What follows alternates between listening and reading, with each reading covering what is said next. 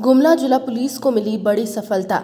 Levy के सहित तीन माओवादी समर्थक को पुलिस ने गिरफ़्तार किया है। मामला गुमला ज़िले के चैनपुर ब्लॉक मोड़ के समीप से गुप्त सूचना पर पुलिस ने चेक नाका लगाकर जाँच के दौरान बाइक में सवार दो लोगों में बास्टी निवासी सुरेश साहू व पुलंग निवासी रवि सिंह को पुलिस ने 9 अप्रैल दोपहर को धर दबोचा। इसकी निशानदेही पर तीसरे सहयोगी फिल्मोन कुजूर की भी गिरफ्तारी की गई है।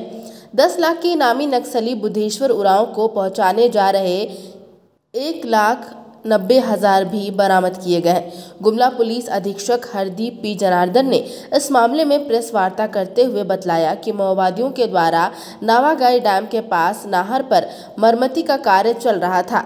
जिसमें सब जोनल कमांडर बुद्धेश्वर उराव ने लेवी की मांग की थी, जिसको लेकर दिनांक 9 अप्रैल 2021 को गुप्त सूचना प्राप्त हुई थी कि नावागाई डैम फिल्मोन कुजूर के द्वारा कंस्ट्रक्शन कंपनी के मुंशी से लेवी के रूप में एक लाख नब्बे हज़ार ले लिए गए हैं। इस सूचना के आधार पर तत्काल अनुमंडल पुलिस पदाधिकारी चैनपुर के नेतृत्व में एक टीम का गठन कर लेवी के राशि के साथ अपराध कर्मियों को पकड़ने का निर्देश दिया गया।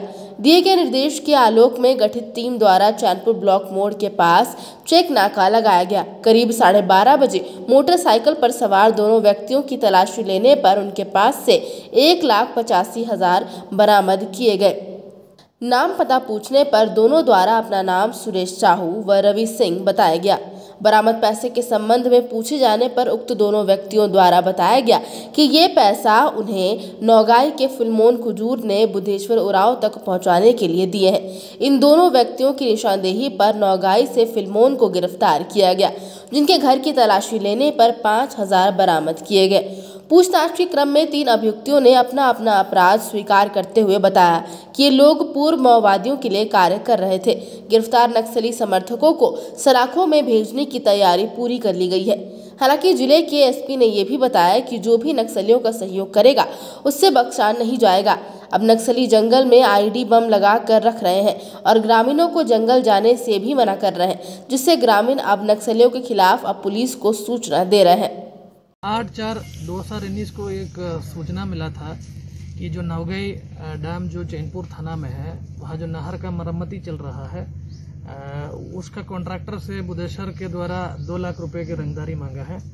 इसका सत्यापन और अग्रदर कार्रवाई के लिए एस एसडीपीओ चैनपुर सिरल मरंडी के नेतृत्व में एक टीम का गठन किया गया।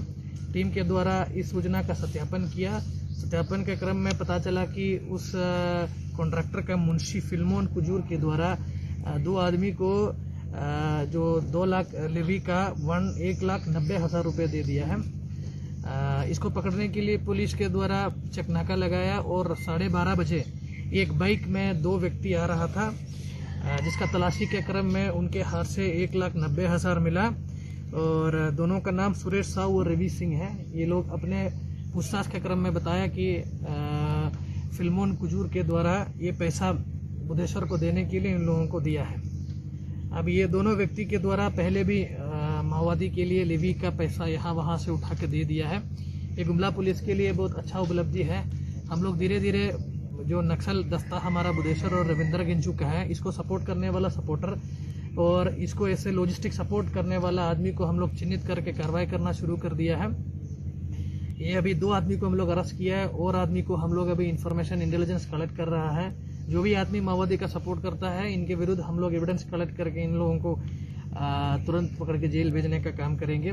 और अभी गुमला जिला का हर आदमी को हम ये भी रिक्वेस्ट कर रहा है कि जैसे आप लोगों को पता है, दस्ता के द्वारा पुलिस को क्षति पहुँचाने के लिए जंगल में, पहाड़ में बम लगा कर रखा है और आप लोगों को भी जंगल जाने से मना कर रहा है।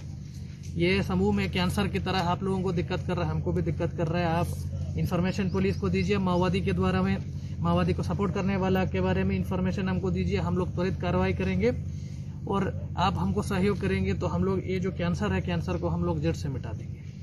गुमला से अजीत सोनी की रिपोर्ट।